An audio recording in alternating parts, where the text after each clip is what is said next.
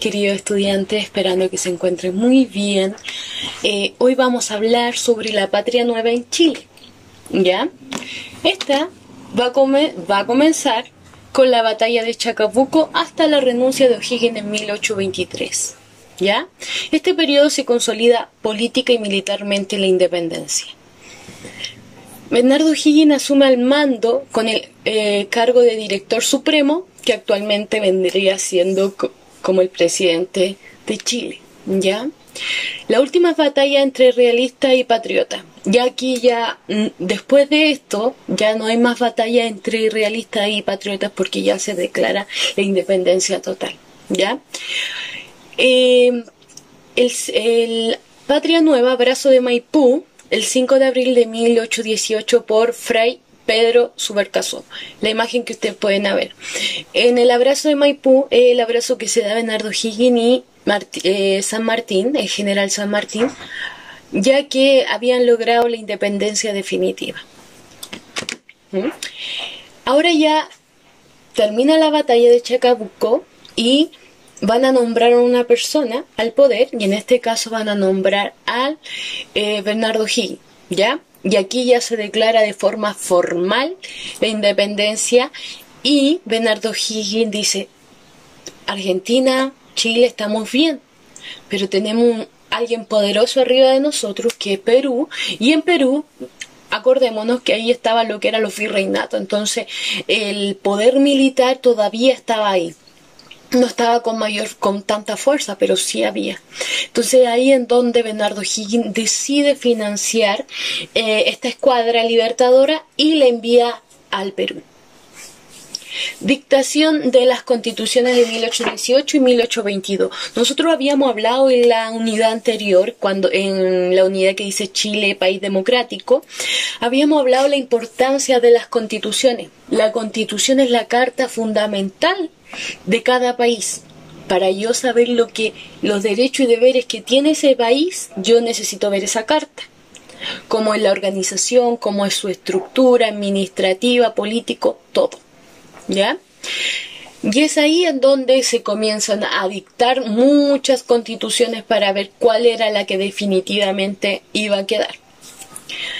Aquí también se van a hacer creación de los primeros ministerios, porque el director no lo puede, o sea, Bernardo Higgins no podía hacer todo, entonces él dice ya, señores, yo voy a hacer la creación de los primeros ministerios que va a ser de defensa, por lo que necesitábamos, de exterior para la relación con los países aledaños o extranjeros, eh, Hacienda para saber todo lo que era, lo que estaba pasando de, en cuanto a economía, y así nos fuimos viendo y fueron alrededor, alrededor de ocho ministerios que se hicieron. Ya ahora son bastantes, pero en ese entonces estaban recién partiendo, entonces no sabían mucho de lo que eran los ministerios. Ya la Patria Nueva declarada de la independencia el 12 de febrero, febrero de 1818. En esa fecha recién se declara la independencia de Chile. ¿Ya?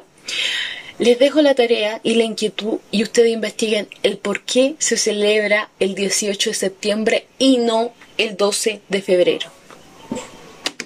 ¿Ya? Ahora, las obras sociales. Recordemos que durante la reconquista habíamos eliminado todo tipo, todo tipo de objetos, de elementos eh, culturales, sociales, de todo que tuviera que ver con la patria vieja. Entonces los realistas, todo se acabó. Pero Bernardo Higgins dijo, vamos a volver a traer todos los elementos eh, que nos den la identidad, este sentido de pertenencia. Entonces vamos a crear lo primero que es la Alameda. En la Alameda la gente iba a poder eh, eh, hacer, dar paseo, estar junto y compartir un sinfín. ¿Ya? Y también nosotros vamos a hacer lo que es el cementerio general para dejar a nuestros difuntos. El cementerio general hasta la actualidad está allá en, Recoleta, en Santiago. Eh, esa parte en donde se dejó el, el cementerio general es un lugar bien helado. Entonces, por eso, por ser un lugar muy helado dentro de lo que era la región metropolitana, se decide dejar ahí el cementerio. ¿Ya? También este cementerio, que lo dice un, un personaje bien importante, eh, Benjamín Vicuña Maquena, él dice, eh, él dice que, el cementerio va a ser una, ciudad, una pequeña ciudad donde nuestros muertos puedan eh, transitar. ¿Ya? La prohibición de las peleas de gallos y corridas de toro. Esto estos juegos son principalmente de los españoles. Entonces Bernardo Higgins dijo, yo no quiero nada que tenga que ver con España. Y decide eliminar estos juegos. Estos juegos son de la parte popular. Entonces, imagínense ustedes el día de hoy le eliminan el fútbol. ¿Qué pasaría? Yo creo que todo el mundo saldría a la calle a protestar y el, el personaje que esté de turno se gana el odio de todo el mundo. Dicho y hecho. Bernardo Higgins comenzó a ganarse el odio de toda la, de toda la población popular, ¿ya?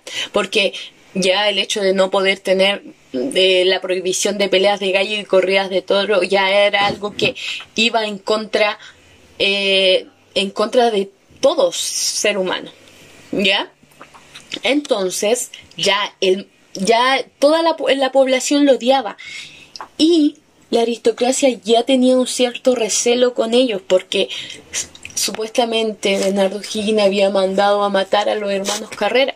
Y los hermanos Carrera eran parte de la aristocracia. Entonces, como ser por ser parte de la aristocracia, igual la, eh, la aristocracia le tenía cierto rencor a Bernardo Higgins. Pero también, pero también, Bernardo Higgins era hijo ilegítimo. Era hijo natural de Isabel Riquelme y de Ambrosio Higgins. Entonces, Ambrosio Higgins fue un virrey del Perú. Entonces, por ser un virrey del Perú, un, virrey no se podía casar con, un, con una criolla, porque él era los ojos del rey. Entonces, por ser los ojos del rey y ser un virrey, él no podía. Entonces, él nunca pudo eh, reconocer a Bernardo Higgins, pero sí le dio los estudios, todo para que él pudiera eh, ser lo que fue. Pero por no ser reconocido, la aristocracia igual lo miró. Eh, la aristocracia igual lo trató de correr. ¿Ya? Ahora, implementación del sistema eh, educativo lancasteriano. ¿Ya? Patria Nueva, la Alameda en el, en el siglo XIX. Si pueden ver la Alameda que está ahí, es un lugar bastante diferente a lo que conocemos actualmente en Alameda de Santiago. Causa de la renuncia de O'Higgins. Diferencias con la Iglesia Católica con la, con la aplicación del patronato y confiscación de tierras. Diferencias con la, aristocracia por la prohibición del uso de escudos y títulos de nobleza y por la intención de terminar con lo mayorazgo. ¿Qué quiere decir? Que ya eh, trató de eliminar todo lo que tuviera que ver. Por ejemplo, si una persona era Santiago de, la, eh, Santiago de la extrema envergadura, ya no se podía llamar así, ahora se tenía que llamar Santiago envergadura. ¿Ya? Por ejemplo, San, em, Fernando de la Fuente, ya no podía ser Dela, porque ahora era Fuente. El Dela era un título que lo entregaban los europeos, entonces era algo que él quiso eliminar de raíz. La concentración del poder en su persona según la Constitución, Patria Nueva, el 28 de eh, enero de 1823, abdicación de O'Higgins al poder, obra de Manuel Caro. Acusación por la muerte de, eh, la muerte de Manuel Rodríguez y los hermanos Carrera en Argentina, como habíamos hablado anteriormente.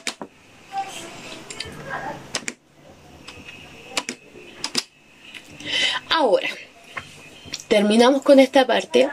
Bernardo Higgins se va, eh, decide irse del gobierno y se va a Perú. Y en Perú en donde pasa su último año junto a su hijo, pasa su último año hasta que muere en Perú. Pero porque él se fue a Perú porque Perú le tenía un cierto respeto y cariño a Bernardo Higgins porque él fue el que financió la eh, financió este ejército libertador para que le pudieran dar la independencia definitiva a Perú. Y es por eso que los peruanos, cuando él decide autoexiliarse, los peruanos son los primeros en que eh, le dan ese apoyo fraternal para que se fuera a su país, ahí en donde queda hasta sus últimos días.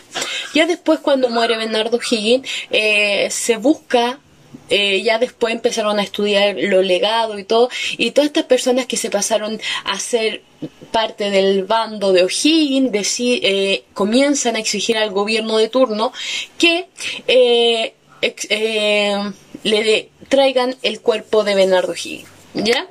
Ahora vamos a lo que es la evaluación. En la evaluación, eh, con ayuda de Internet, investiga la biografía de cada uno de estos personajes y rellena el recuadro, según lo solicitado. ¿Quién fue José Miguel Carrera? ¿Y qué participación tuvo en la independencia de Chile? lo que es José Miguel Carrera, Bernardo Higgins, Manuel Rodríguez, Javiera Carrera, José de San Martín y Mariano Osorio, es lo que yo quiero que ustedes coloquen. ¿Ya? Ahora, ustedes ven que ahí está el periodo. Yo coloqué escudo. Necesito que de acuerdo a los escudos ustedes coloquen qué parte, eh, cuál, dibujen la bandera. Por ejemplo, la bandera del primer escudo, del segundo escudo y del tercer escudo. Y eso es lo que es la evaluación, ¿ya? Eh, chiquillo, en caso de duda o consulta, háblenme. Me manden un correo, me hablan por WhatsApp, no hay problema. Lo único que quiero es que estén trabajando. Yo sé que estamos frente a, algún eh, frente a un problema que, que es mundial, pero necesito que estén trabajando, necesito que eh, estén manteniendo ese ritmo de estudio, porque de, de verdad es muy importante. Les mando un beso, un abrazo, que estén bien.